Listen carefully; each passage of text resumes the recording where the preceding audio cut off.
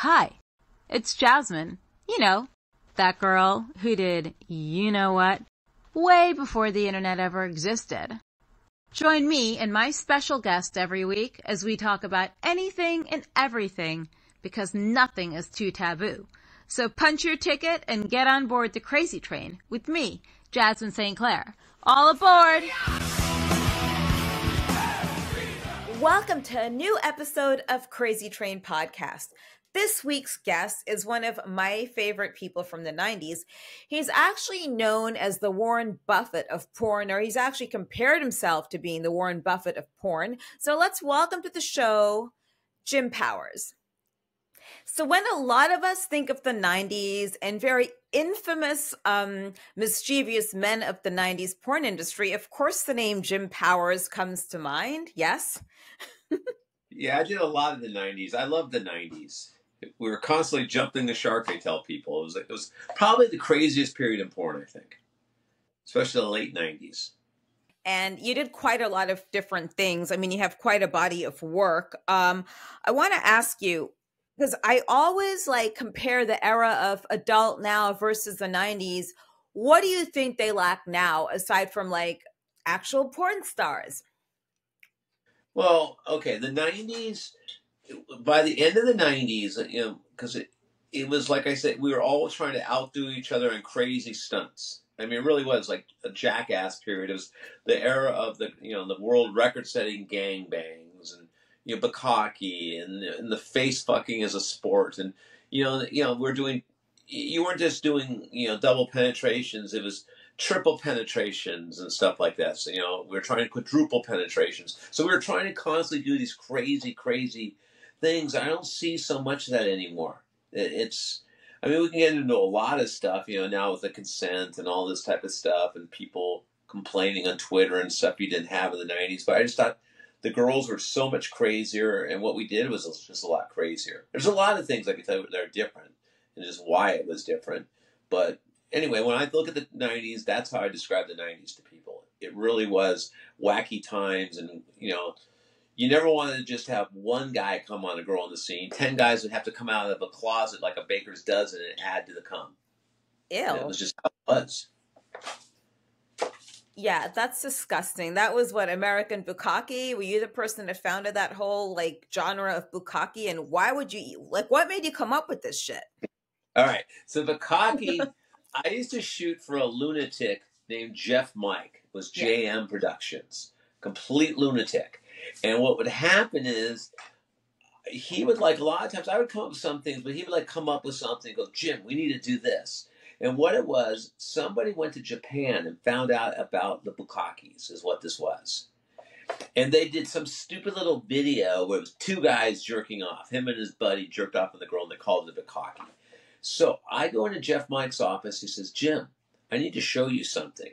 And he pulls out this VHS and sticks it in. And I'll never forget so in this room, this girl comes out, little Japanese girl, and she's wearing these Playboy bunny ears, and she's dressed in a little cute little Playboy classic outfit they used to wear, and and she's just masturbating. And then all of a sudden you realize the room is nothing but there's men, about 50 men around her, and they're all sitting in white underwear and they're just watching her as she's masturbating. And I'm watching this fascinated because they haven't said anything. And the camera pulls back and then all of a sudden you hear, and they all rise up. And then you hear another clap. They pull out their underwear. Third clap in unison. They throw them and they yell, Bukkake. And then they just walk, and one at a time, they just jerk off in her face. Those Japanese, they pixelated it. You know, you can't see pubic hair or mm-hmm. But so they're all jerking off in her face one after another. And I'm like, I'm like, how the fuck are we going to do this? First of all, where am I going to get all these trained guys that are going to listen to me like this? Which I did from prison because this is what we ended up doing. But so we, I'm like, how are we going to do this thing? He's I don't know, but this is, we need to do this. I'm like, okay. So what we used to do is we used to launch lines within this thing called perverted stories. Mm-hmm. I used to do a line called perverted stories where I sew pig masks on you, and that's the one where dinosaurs would fuck the girl, or the girl would yeah, we just any crazy thing we could do, we put into it. It was kind of like The Simpsons or whatever, or that one show that where The Simpsons came from. We'd try out things that if it worked, you'd make it a series. Is how we would t- test market things. So we did a sample bukkake where I, you know it's a class you get all the guys that really weren't working. I was shooting a lot. Hey guys, can you come over to my office? We're going to shoot it in my office. The time I actually had a company, and come over to my office in the warehouse. And I got like 18 guys, and we recreated it just how we saw it in the video. I forget who the girl was, and I did the exact same thing. Tried to keep the guys quiet, kept control. I just did it just like that, and it got great response. So Jeff Mike says you need to do this again. We're going to make this a series. So um, I did it again. If you remember, do you remember when Brooke Ashley caught HIV? Remember the big anal game thing? Yeah. Well, anyway, we figured, well, that's the same thing you can do because Bukkake later became OSHA approved later on in the future because really we just jerked off on her face. It's no big deal. So we shot her in one of these and we got like 20 guys, but it was hard getting the guys. So what started happening, the Bukkake, now you're going, well, Jim, how did you start getting all these guys? Yeah uh, Gabor came to me and said, "We need to break the gangbang world record." Because I was always competing with that asshole Bowen, John T. Bowen. He's Remember dead. Yes, I know. yeah. he's dead. he's a dick. But anyway, you know, like so I was always competing with him. So I go, we're gonna do a okay, we're gonna do the world record break. My by the way, my gangbang had more but more than anybody. We actually had 158 people that fucked her. You know how it was, just tag her with your penis and it counts as one. Throw a hat on Dave Hardman, we'd put him through the line seven times. You know, everybody did that. I plead the But we actually had a yeah. I had 158 penises actually fuck that girl. The the Spawn 551. But you know, a lot of guys would do it 10 times just to get the numbers or whatever.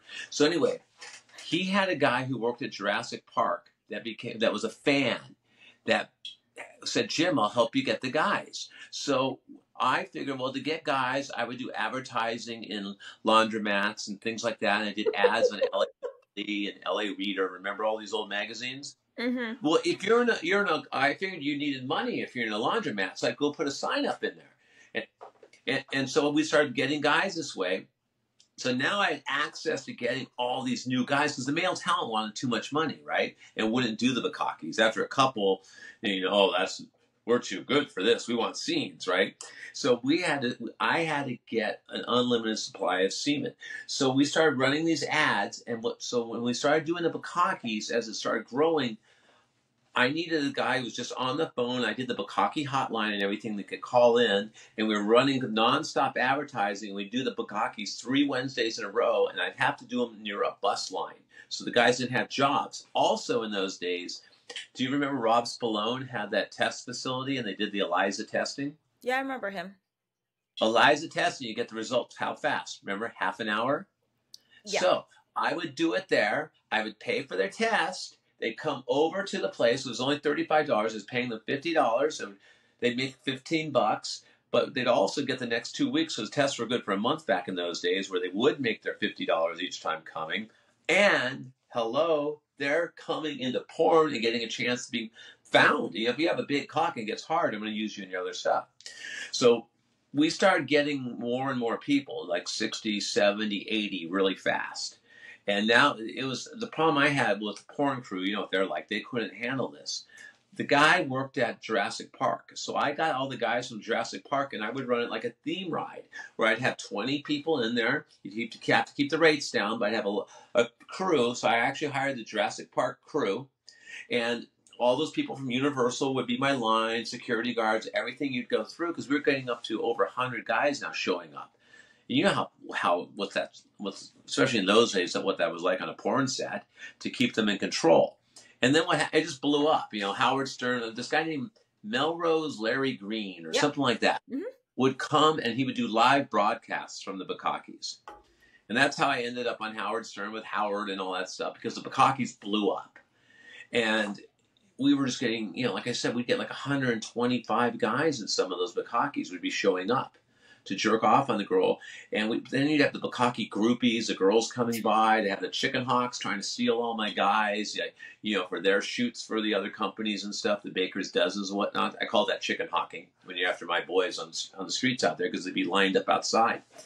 And um, yeah, but that's, you asked me how we did it. That's basically how I did it. I ran it like a much more like a theme park ride and I appealed to the masses.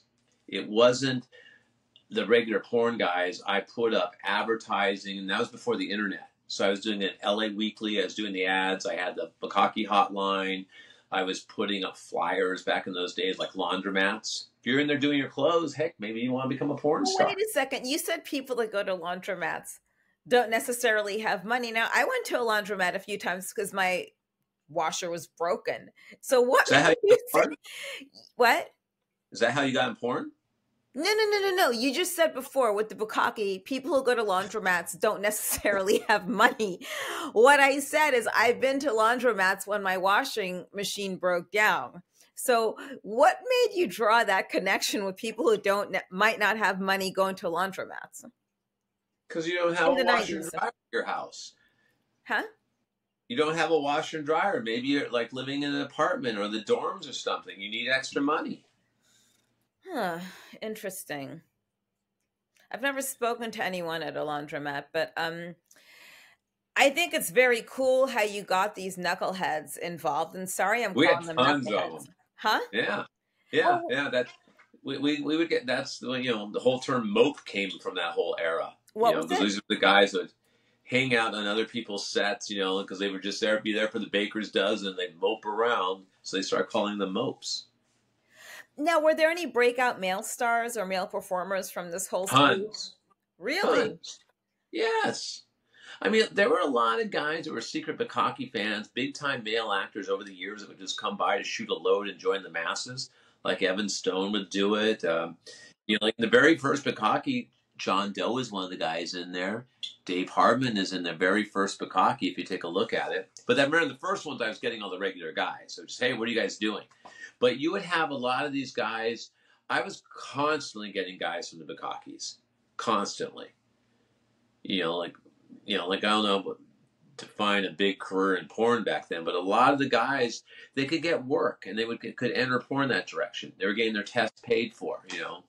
Because remember when you started doing the Bukkakes, the you know, all of a sudden they had a test and everybody needed them to do. There was another world record breaking gangbang usually coming down the pike, right? There was always some blow bang or something. You know, uh, remember that was a, especially later on when red light and stuff started blowing up, and you had Brandon who would always hang out the Bukkakes, and you know Brandon couldn't come unless a bunch more penises were beating off in the room. So he would start getting the baker's dozens where he'd fuck the girl, and then they'd all come and join him in jacking off on her face afterwards. So all these guys are always being snatched up from the Bukkakes. Where do you think they were getting the guys from the Houston 500 for? From my Bukkakes. Who do you think they were hiring? The, the, the guy who tried to unionize the Mopes, Rocker, from my Bukkakes. Yeah, I'm glad I avoided the whole bukkake thing because I wasn't specifically um I wasn't necessarily friendly to the male talent, especially like the newcomers. I was not I was not easy We were supposed them. to talk to them at Bukkakes. You weren't allowed. We kept you in the back, and, we, and they weren't allowed to talk to you. And but the, we would always. I had to book extra girls just in case something happened. The first girl, you know, didn't make it or something, or passed out or something. Whatever would happen, you know. Um, but it, I'd have girls crying that couldn't do the Bukkakes. It, became a serious badge of honor. Think about it. these guys are beating off. You're not even touching them. The power you have. It's the ultimate empowerment video. It was pure feminism in action, is what it was. I think I made a lot of people very happy with Bukkake. I was sad when I went in the Hall of Fame way back when because thought, oh, my career's over. What do you do after Bukkake? So I've just dredged along ever since. Yeah, but you had a body of work prior to bukkake. Let's let's not Yeah. forget like your infamous uh stint, you know, filming people on the beach as well. oh, yeah. yeah. I still go to the beach all the time doing pickup shots. You know, you just got to be careful. I learned, you know, don't do it in Malibu when people are coming down because they arrest you and put you in jail. So, yeah, that's a good idea. Just stay out of Malibu if you want to shoot porn. Um, I want to know where most of your influence came from because I did read your bio. It said like horror films and comic books. And speaking to you here, I could totally see that. Uh, what drove you to get into porn? And don't say it was the money or the chicks because it's no, it wasn't. I didn't mean to get into porn. You know that. I never meant to be a porn person. It was, uh, long story short, as a stockbroker, company went under. My buddy says, hey, raise some money. Let's do this uh, kickboxing video. Remember kickboxing? 1990. It was in uh, West Palm. And And then when he found out that the guy who was going to do the kickboxing thing was involved in porn, he used to be involved like with Traci Lords and stuff way back when. Nothing wrong. He was just a porn producer. But my friend at the time, partner's like, "Oh, we can't do this." And I'm like, "Why? Why can't we do it?" Because Jim, don't you know anything? The porn's the mafia. You don't want to get in bed with the mafia. We're going to have to walk away from this. I'm like, "Oh, well, it makes sense to me. I don't want to be in with the mafia." And so, um, anyway, that's how it all happened originally because we ended up trying to. He also owned a one stop, so we had like hundred thousand horror movies, like Nightmare on Elm Street, those Night of the Living Dead, that type of crap, right? And do you remember the days of extended play videos? You guys remember what extended play was? Yeah. Those were the cheap ones that went into the Walmarts. Remember, there was a tiny little spool, really bad quality. Anyway, they would sell extended play on this one on this one stopping, so we had to unload all this stuff.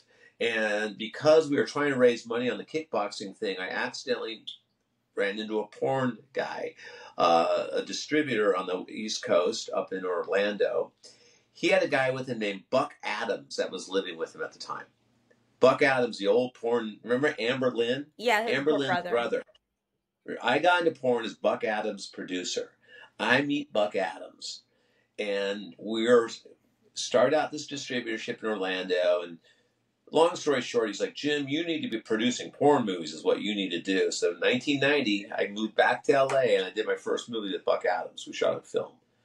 But, you know, I lost money. It's like one of those things I didn't mean to do it. It's one time thing, never again. Then I ended up filming some boss at some uh, loan job I had. I was doing loans for people raising businesses, and he found out I did porn. Jim, can you get some girls over here? We'll make an amateur. So I filmed him fuck him, my boss, in his office, and it was like one thing after another where I fell into porn. Is all it was.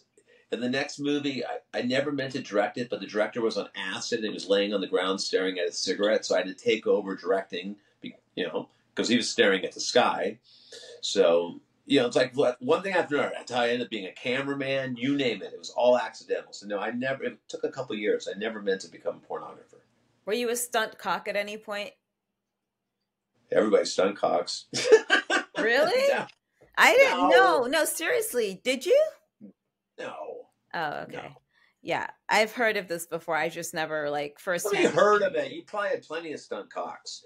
None of the movies you ever did, you got stunt cocked. No, I was just, no, no, no. People knew walking in that they're dealing what they were dealing with with me. So either if you don't have your shit together, then go home and we'll just shoot another day because I had important things to do, like nail appointments and stuff.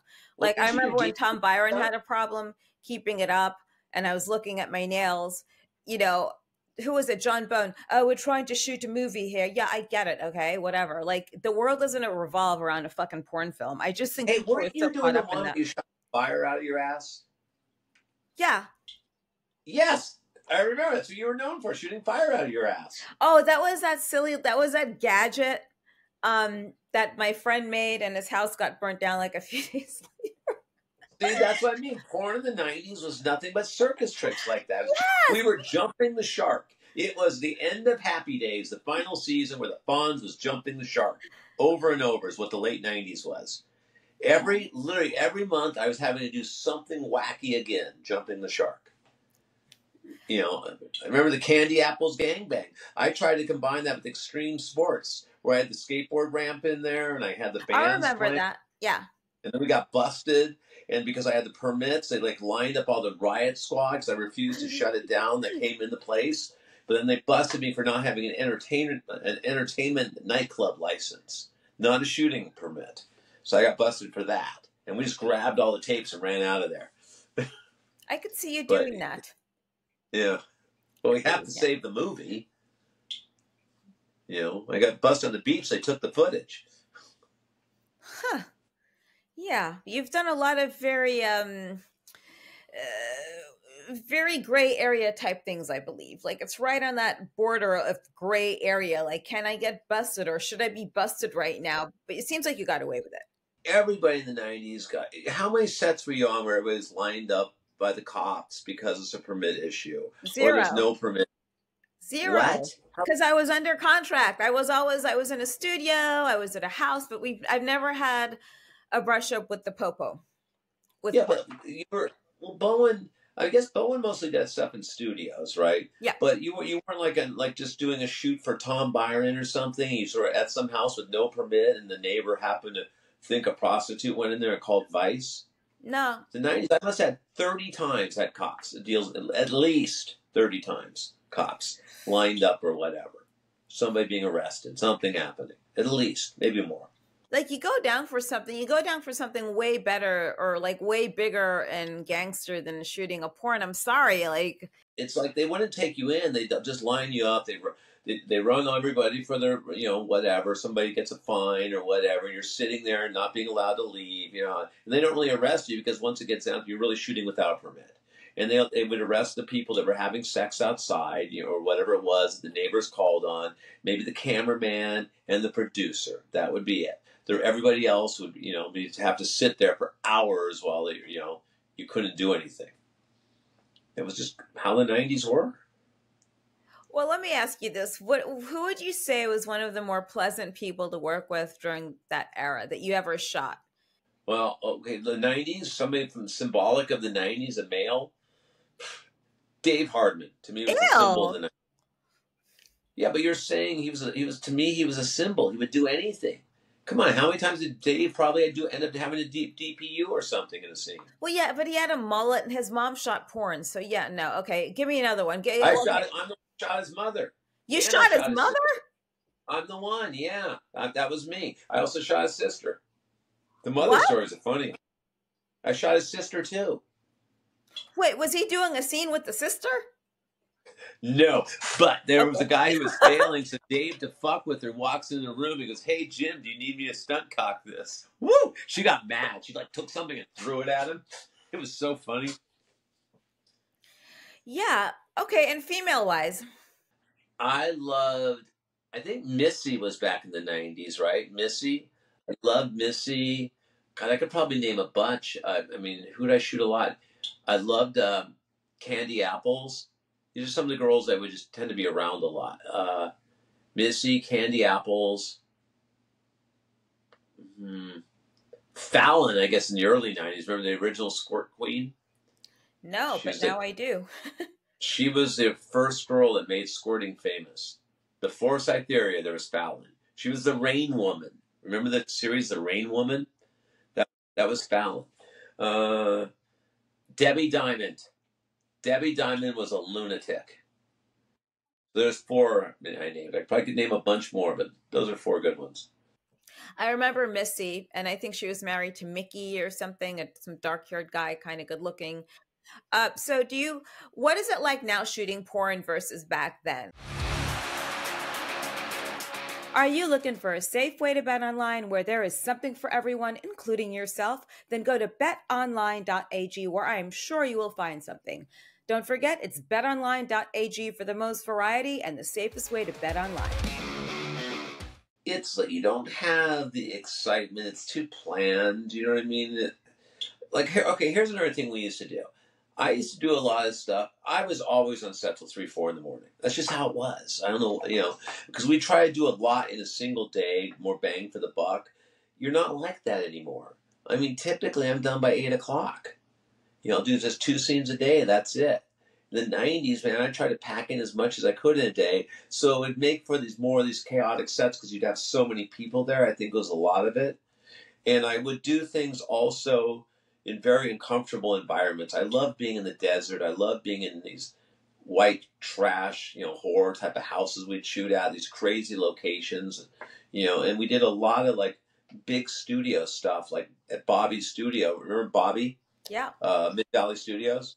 And we used to do these really cool sets and stuff. I really just don't have that type of stuff I do anymore. So I think a lot of it had to do with what's different now is I have these much longer days with more people there and just more chaos involved. And I think the girls, they weren't, there was no social media around. So they, you know, they could be on meth or something. You remember how it was, yeah. and they weren't being outed like they would be now. You know what I mean? It was just a thing. Oh yeah, Mila, we know that soda pop in there. You know what I mean? You know, you know damn well she's drinking vodka, but you really looked the other way back then. Mila. Remember Mila? Oh, I know Mila very well. I used to go to barbecues at her family's house. They're Russian heavy vodka drinkers. I totally do. Yeah. Yeah, Mia, Mia, Mila, and her sidekick, Alu- what was her name? Uh, Alyssa something. Remember her sidekick? The blonde. Yeah, I remember her. The brunette. The Yeah. brunette she hung out with, the two of them, the gruesome twosome, the two of them would come with big gulps. and you know damn well what was in these big gulps that they would drink. It would just be solid vodka and whatever soda or whatever they put into it. And those two would just be, you know, psychotic. But there were tons of girls that were like that. Anyway, the point being, it was kind of looked at the other way. You know, you didn't really care, and you know, it's just how that how those days were. You know, like, and the drugs were.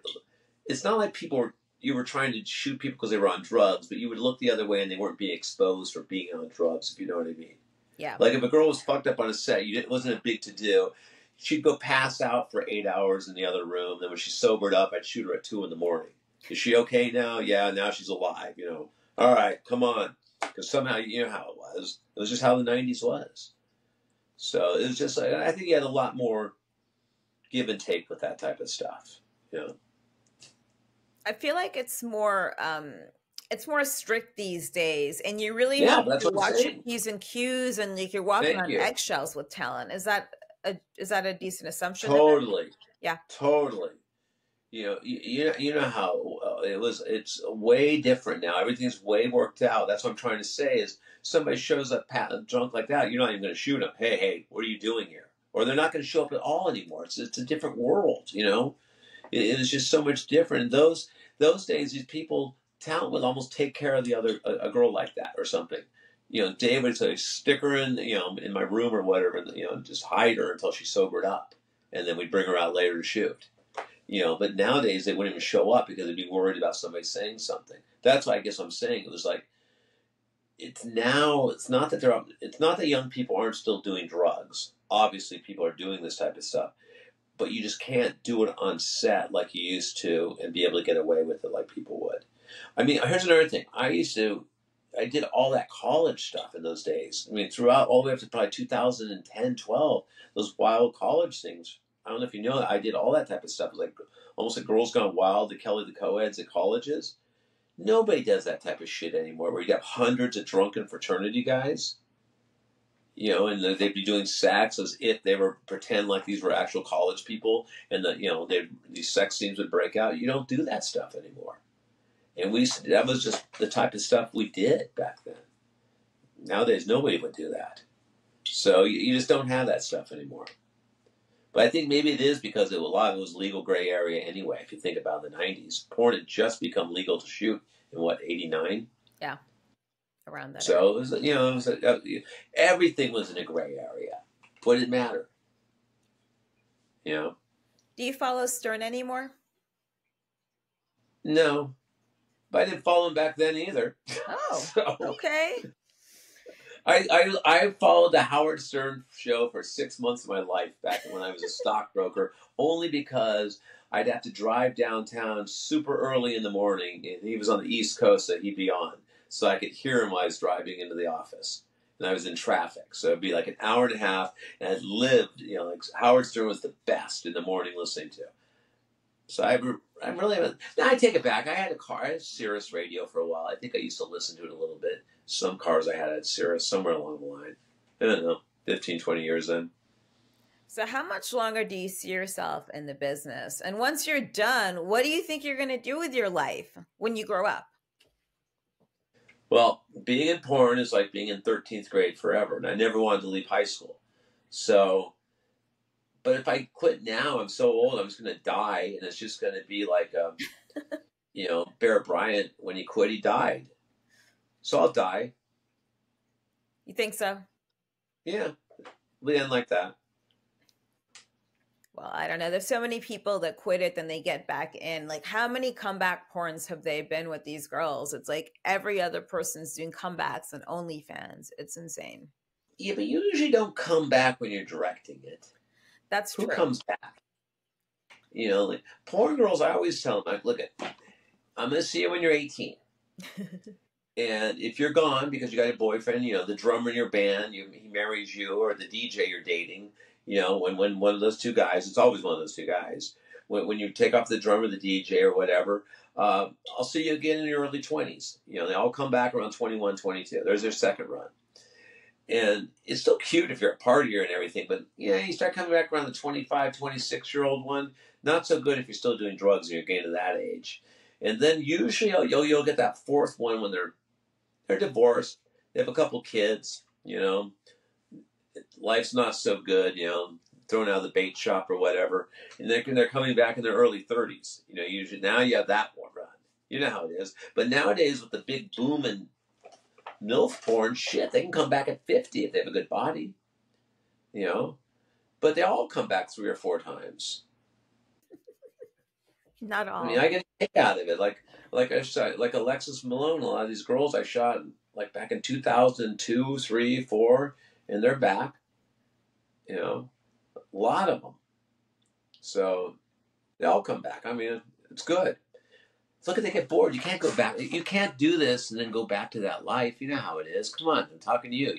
You know they. I they never want, went back. That's the thing. I never went back. I, I, I got involved in other crazy things like wrestling, and I'm still involved in that. So maybe that's my version. But you of did stuff porn. like that. A lot of these girls don't. You know what happens. They get involved with some guy for love. Oh yeah, that shit. Yeah. Okay.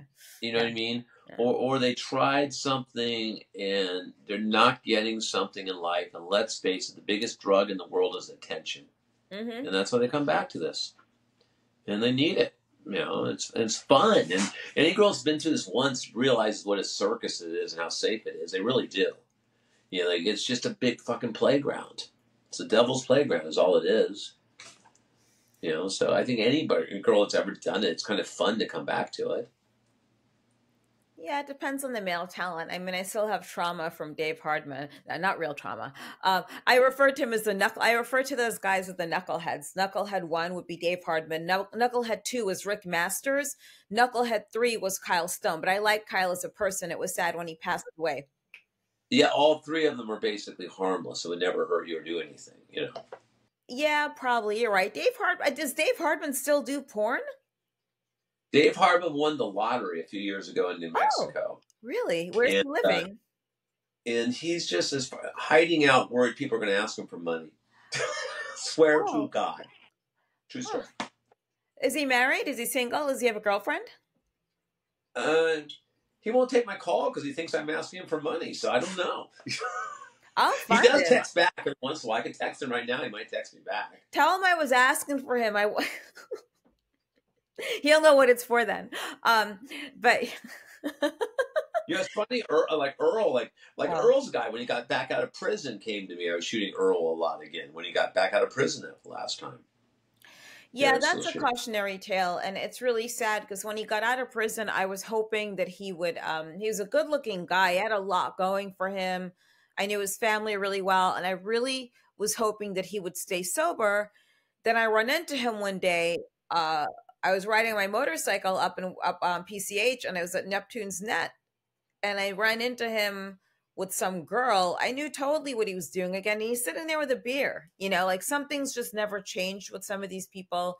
And it's sad what happened to him in the end. But I am interested in Dave Hardman now. He's actually not that bad looking. Mullets are kind of cool.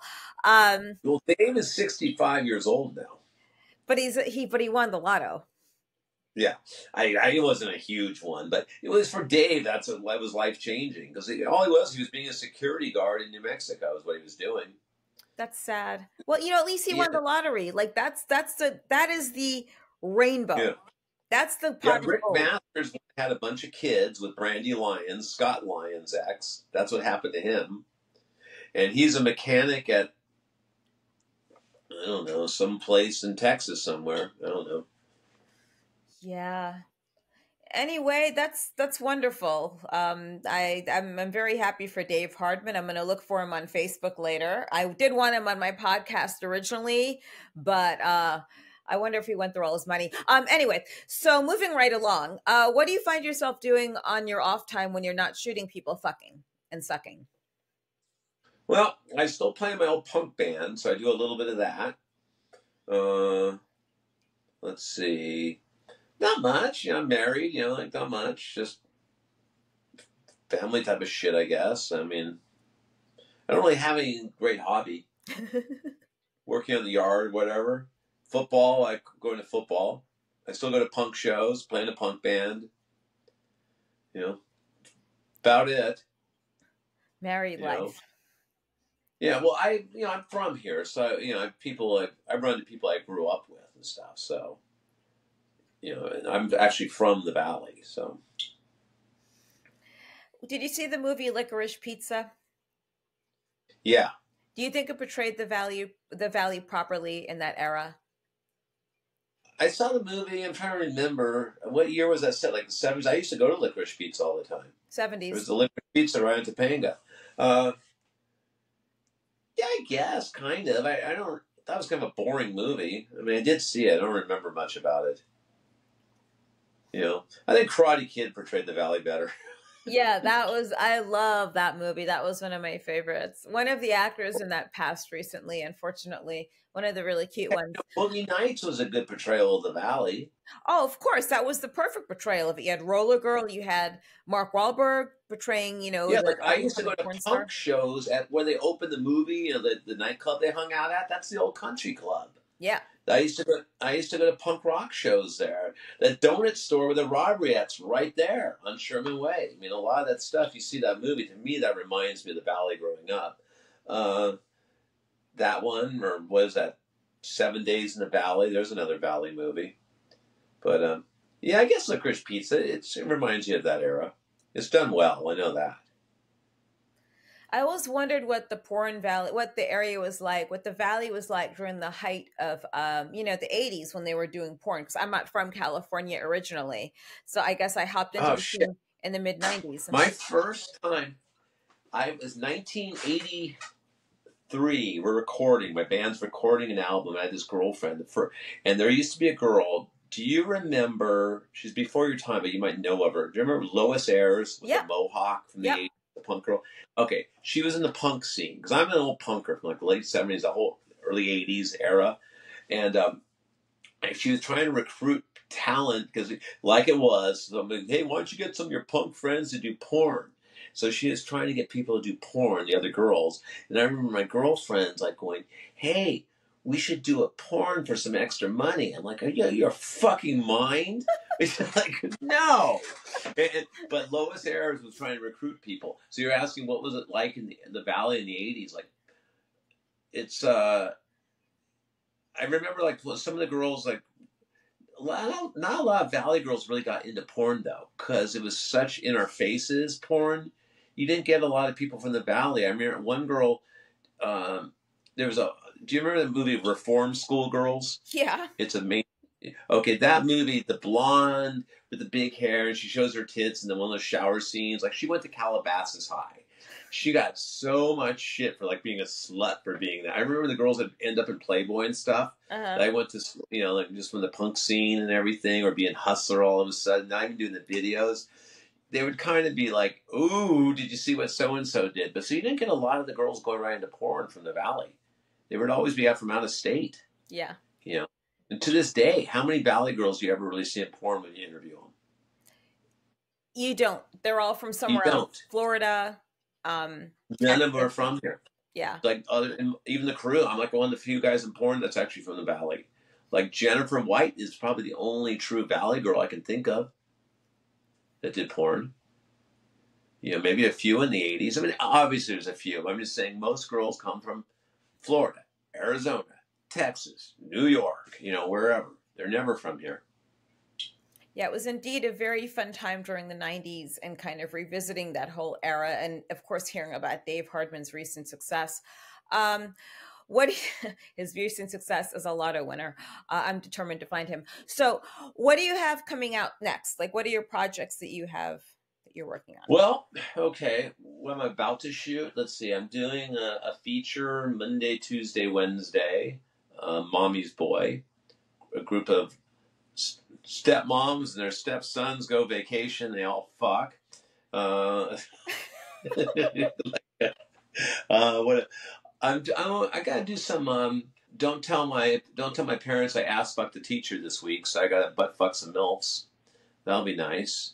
Um, I'm gonna do a trans movie. I want to do. Shh! Don't tell anybody. I want to do. You know, Vampirella. Yeah, I do. I want to do Transparella with a trans girl. You know, the vampire. That'd be a great one. Outfit. costume. So I want to do that. I mean, I guess a new rule I got this week. You know, I, I don't know. I really don't look past the next month or so. And if people want to watch your stuff or follow you and even your punk band, where do they go online?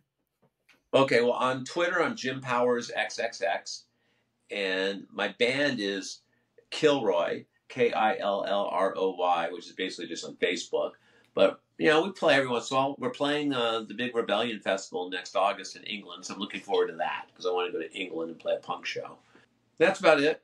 I mean, I shoot mostly for Gamma, so the stuff I shoot shows up on, you know, like those accidental gangbangs, MILF overloads. I do all that stuff now. Accidental gangbang, MILF overload. I do the gender X stuff. I do dog fart. I do Nuru. I do devils. I do, uh, let's see, what else? You know, raunch, variety of stuff. You know, I just stay busy. Definitely. I could tell. I mean, you just listed like so many things I'm dizzy, but I think that's amazing. You have to stay busy in this new, you know, social media and everything's online. It's not the same as just putting out VHS um, like we did before. So I think it's you know what the medium has changed. It's not different. Nothing's different. It still everything's still the same. If you ask me, it's just the medium changes. You know, they're just no longer. You're not the girl behind the glass anymore. You're now you're now the hooker on the screen. That's all it is. You know, nothing's really. Ch- I don't think anything's really changed. It's just like the medium of getting it there. You're still making a movie. You're still making a fantasy. Whatever that fantasy might be, you're still making the movie. Because I always do try to make movies and make it entertaining. I have a theory. You know, when you die, you have to watch everything you did. So you better make it entertaining when you're stuck in there, you know? it's like being held in the 90s. that gives everyone a purpose to live, do interesting things. Do whatever you want. Let's do a good porn today because we could all die when we leave this shoot. We could be in head-on collisions and die. So let's make a good porn movie right now. You know, you don't want to look like you're having a bad time doing it, and then people look back on. God, not only were you doing porn, you look pathetic have a good time. Then you could say, I was out of my mind. I didn't mean to know what I was doing. You know, have a good time. Have That's a good words time. I live by. That's the takeaway today, folks. Have a good time doing whatever it is you're doing because when you die, you're going to have that rewind and you're going to watch everything, right? Exactly. fun. Yes, at least you should be laughing, and you know, in St. Peter or whoever's at the gates having to watch everything with you. That's good. Those are very good words to live by. So thanks for joining us and sit tight.